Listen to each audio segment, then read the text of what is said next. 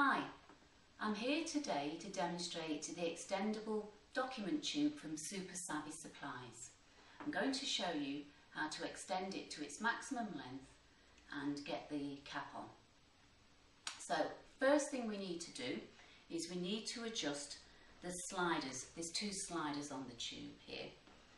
This one here is going to go to its maximum here and then this slider here is actually designed to come off. So we've now got the strap loose I'm going to extend the strap to its maximum length.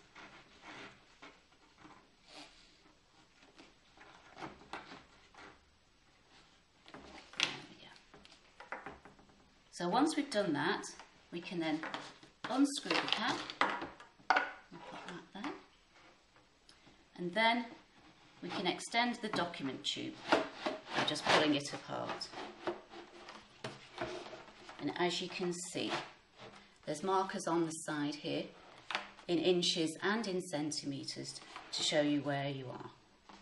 Now I think that is just about the maximum length. So nice and sturdy and firm, it's not going to collapse there. So we're there. Then we get the cap, pop that back on,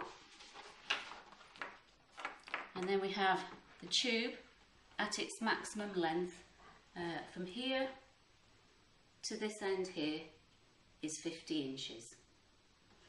So once you've got that done, it's nice and secure, you can either use the sliding handle to get it in the correct position for holding it so it's comfortable or you then have the strap loose, that down there, that you could pop it over your shoulder if that's an easy way to carry it for you. And uh, that's how you do it. You could also reattach, if you so wish, the slider back on again. That might make it easier if you're using the handle. So that's the extendable document tube from Soupy Savvy Supplies at your maximum length.